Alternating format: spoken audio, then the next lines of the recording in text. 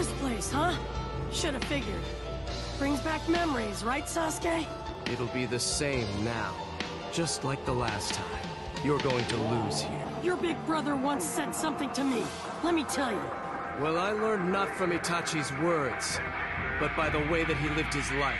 I'll teach you exactly what being Hokage means to me now.